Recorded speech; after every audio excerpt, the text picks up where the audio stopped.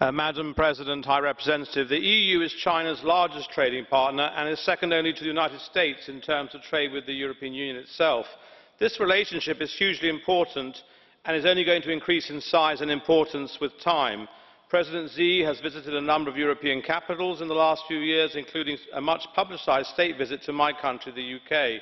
There is no doubt, therefore, that EU-China relations are of key importance, but we must not allow this to let us shy away from our differences. This year, for instance, we must come to a decision as to whether or not grant China market economy, market economy status, a decision that is complicated by issues surrounding intellectual property rights in China, the steel dumping crisis, and the dominant role that the state continues to play in China's economy and foreign policy.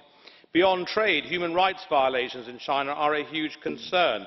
Everything from censorship of the internet to this week seeing Falun Gong activists campaigning against, uh, outside our parliament against alleged brutal organ harvesting.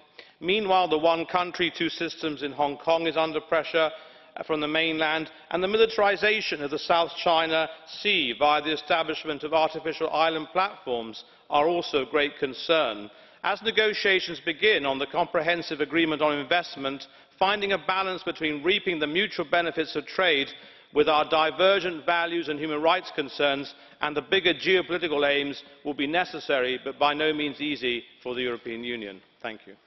Merci, madam president madam mogherini i support in principle your new strategy. However, the challenge remains how to balance what is principled and what is pragmatic. Two and a half years ago, the European